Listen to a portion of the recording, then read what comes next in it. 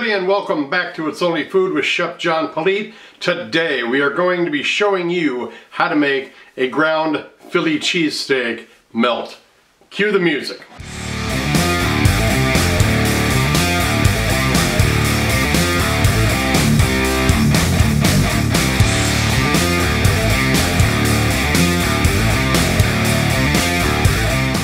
Well, thanks a lot for watching. If this is your first time, please do me a favor. Go down below, hit that subscribe button, and then hit that notification bell to be notified each and every time I upload new content. All right, like I said, we're going to be making a ground Philly cheesesteak melt or Philly cheesesteak grilled cheese. So let's head into our kitchen and see what our ingredients are. We're going to be using one pound of ground beef, a couple of peppers, one onion, two slices of mozzarella cheese, and two pieces of whole wheat bread. So let's head into our kitchen and start doing our prep. All right, got our one pound of ground beef in here. We're gonna let that brown off and cook. Meanwhile, while we're doing that, we are going to slide over here to our cutting board. We're just gonna dice our onion. I wanna do the same thing with these peppers. You can use any kind of pepper you want. Um, you watch a lot of my shows, you know that this is the kind of peppers I use. These are at Cub, the store that we have up here in Minnesota. They're uh, very nice peppers, a lot of color on there, a little sweet to the taste. They're good, they freeze well, and I can pull them out of the freezer. I buy them in about a two pound bag. And they're, they're good for all kinds of different applications. So I'm just gonna dice these up as well. I'm thinking I got way too much onion there with this little pound of ground beef. So we might not use all that. So I am just gonna set the peppers kind of off to the side. I'm not going to mix them up so then I'm not forced to use all of those onions. I think that's way too many onions. Let's slide back over to our pan and finish this up. All right, got our peppers and our onions.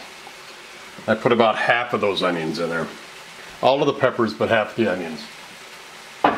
And we're just gonna mix this all up and let it cook until those onions are done and the peppers are done and of course the meat too. Now I did not put this in the ingredients but this is my steak and chop blend that I have. It's really really good and I'm pretty sure it's going to be really good in this for this sandwich. So I'm going to go ahead and put some of that in there as well. I'll leave a link right here to my store for that if you're interested and hopefully remind myself to add that to the description box with all the list of ingredients as well. So, oh yeah, that flavor's in there. I can smell my seasoning in there.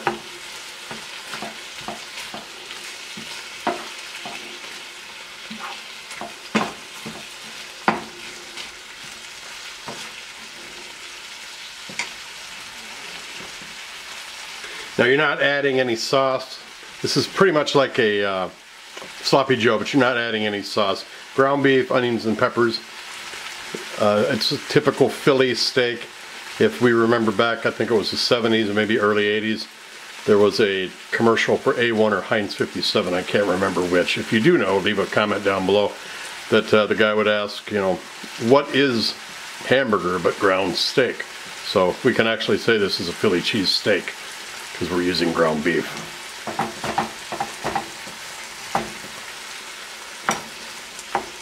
All right, as soon as this ground beef is cooked, we can set this aside and start making our grilled cheese. Oh, I had a brilliant idea to go ahead and put the uh, you know pan on there for the grilled cheese while the other one's cooking over there. So we could do two things at once. A little bit of olive oil on here. I forgot to pull butter, it's still hard as a rock, but this works as well too.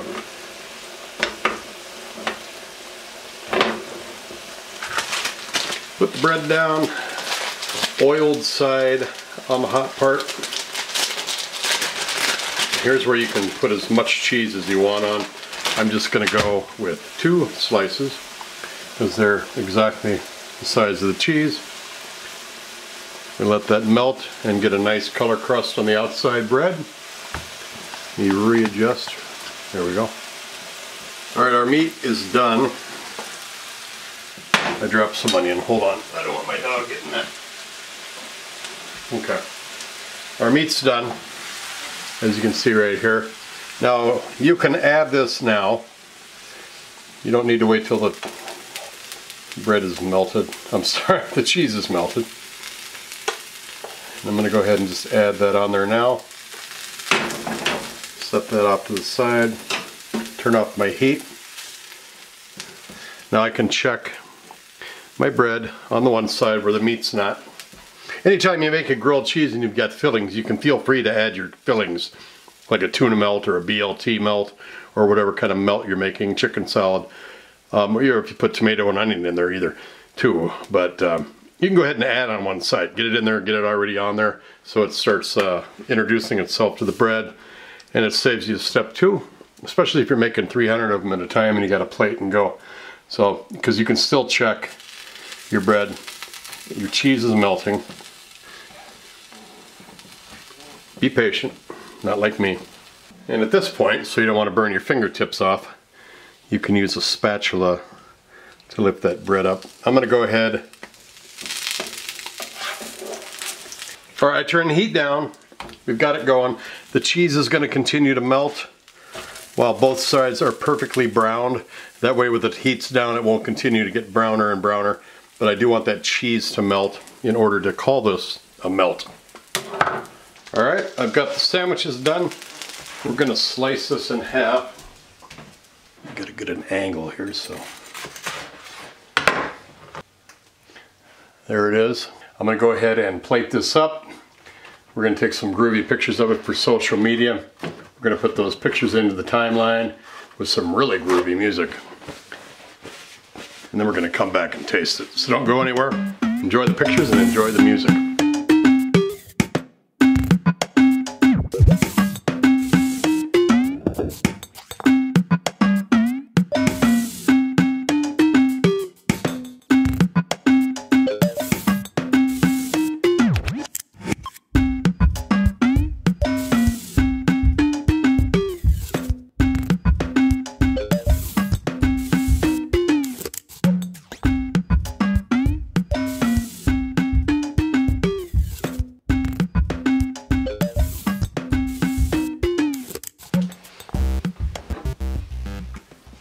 All right, there's the sandwich.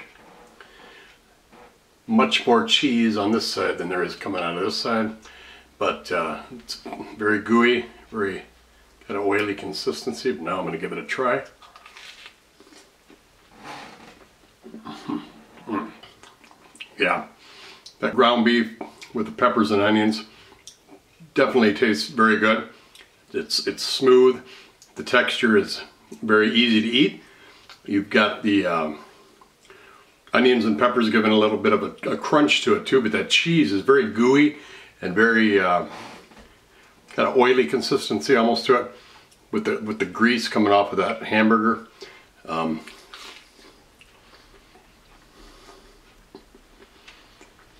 you got that crunch of the bread too. Excuse me.